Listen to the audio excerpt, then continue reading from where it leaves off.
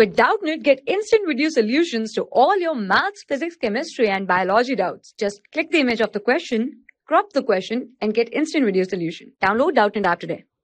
Hello everyone, the question is sulfur dioxide turns acidified potassium dichromate into what? So in this question we have to fill in the blank that is given here that uh, for the reaction that is taking place between sulfur dioxide and acidified potassium dichromate. So the reaction that takes place is something like this. Sulfur dioxide that is SO2 reacts with K2Cr2O7 plus H2SO4 to give K2SO4 plus Cr2 SO4 whole thrice plus water.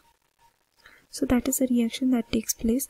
Now potassium dichromate here it acts as a strong oxidizing agent as a strong oxidizing agent okay and hence the sulfur dioxide gets oxidized to sulfate and uh, chromium ion in potassium dichromate so what happens is this uh, it acts as a strong oxidizing agent so it oxidizes sulfur dioxide while itself it gets reduced.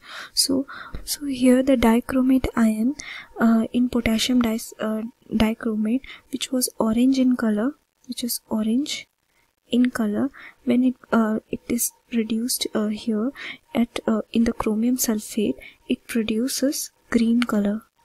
Okay green color so the uh, solution color changes from orange to green because potassium dichromate gets reduced okay so here they are saying that sulfur dioxide turns acidified potassium dichromate into green color so that is the answer for the question thank you For class 6 to 12, IIT JEE and NEET level.